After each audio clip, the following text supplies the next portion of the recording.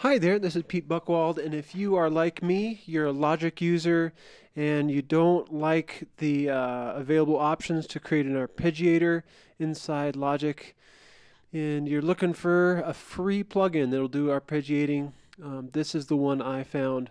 There's others available out there that might have more flexibility. This one is not doing what I want it to so far, but let's take a look at it. Hypercyclic by mucoder and you would download it for Mac OS, of course, and install it in the appropriate place in your library folder, etc. Put that component in the proper spot. I'm sure it'll. You can figure that out, your big boys and girls. Um, if you can't figure out how to install a free plugin, just do a little bit of Google searching, and, and you can find it pretty easily. Uh, so once in, once it is installed, after that you'll need to open up your Logic and create a new session when you open up uh, Logic after installing that component, it's going to scan for new plugins and it'll show up. So let's see, let's do two new software instruments. Uh, on instrument one, we're going to grab our new arpeggiator. So it's the mucoder Hypercyclic. We'll do it stereo. And let's leave that over here. We'll come back to that in a second and we'll install some kind of, let's start with a polyphonic synth. We'll do a little bit of experimenting after this to see if we can get more of the results I'm hoping. All right, the manual online talks you through some of the, the setup that you have to do, but uh, I'll talk you through what I had to do. The, the manual online uh, tells you how to do it with Logic 7.2 Express and but all this basically worked it just things looked a little differently. So indeed you I did have to go to the audio MIDI setup. Um, once I opened that up I had to I had to double click on this IAC driver select ports and highlight that and after that it was good to go. After you do that then things will work properly in Logic and getting this thing set up how we want to use it uh, in other words, we want the arpeggiator to play a synthesizer that's native to Logic, such as this ESP. Alright, so here's the next couple steps. Once we told our operating system where some of our MIDI uh, stuff was in that uh, MIDI utility, look up at this upper left section. We got two. We have to identify the MIDI in and the MIDI out. Currently in the drop-down menu, there's not what we want.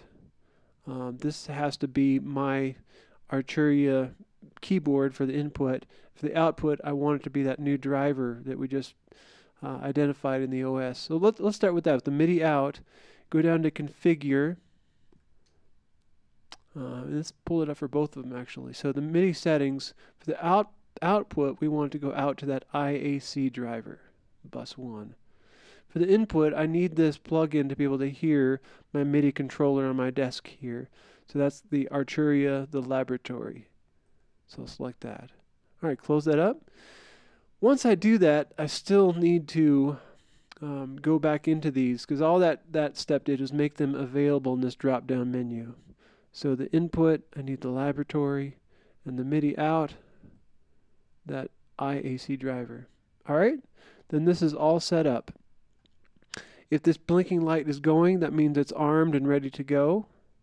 I'd suggest, um, I'll, I'll, let me retract that statement that I was going to say. All right, make sure that you're you're highlighted here on the, the instrument you want to play. So let's see if that works. All right, it's working.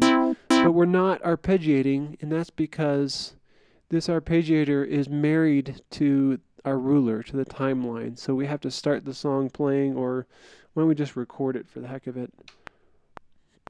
I'm going to play an A minor chord.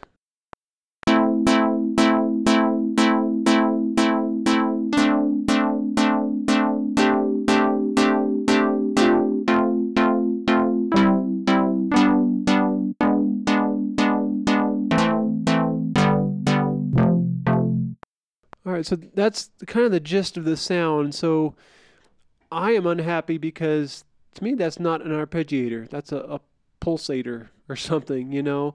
And I was messing around with some of these presets under this drop down up here to see if there are other ones that go up and down like arp over the hill sounds like it might go doo doo doo doo doo doo doo like I want it to do but this only really applies to rhythm so let's let's uh, hit the spacebar again start playing our chords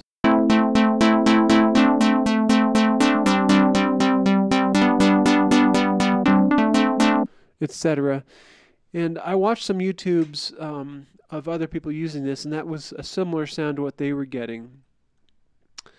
Let's see what happens if we grab a monophonic synth and see if that gives us a different result in their arpeggiator. So it's the same settings over there. Let's see what we get. So this is monophonic, so I can only... If I, if, if I try to play a chord, it won't let me. So let's see what happens if we have a monophonic patch let me delete that region so it doesn't play. Spacebar, play an A minor chord again. Here we go, two, three, four.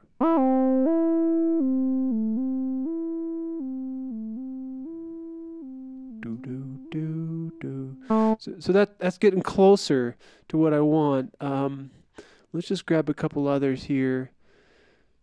Uh, rhythmic arc, ARP. Spacebar. It's just holding. Huh.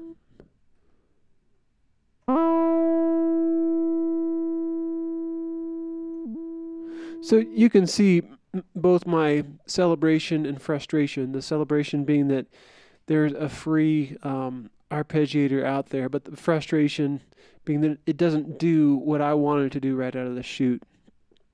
Maybe there's ways to make this do the kind of arpeggios that, that I'm hoping to use that are available like in Omnisphere and um, in uh, uh, Live, Ableton Live. Um, so here it is, this free plugin by mucoder, uh, worth checking out for sure.